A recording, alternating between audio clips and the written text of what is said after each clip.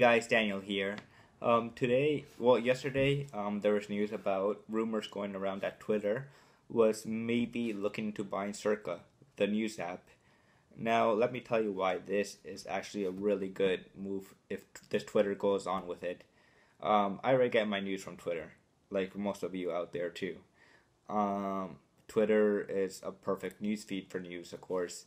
Um, they already have Vine, six second video streaming. They have uh, uh, Periscope, the streaming services, where a lot of people have been posting like new news events and streaming it live.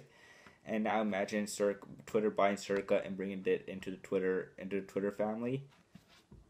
There you go. You have perfect. Uh, right now, Twitter does not uh, produce their own news content or anything like that. But if they did with Circa, it will like I'll get my news from there only from uh from uh Twitter now because I already have the Circa app. I downloaded it. I I love it. It's fun to use, but like Twitter right now, of course, like I said, does not produce any of their news content. So them buying Circa is is gonna be a right move if the rumors are true and the talks go through.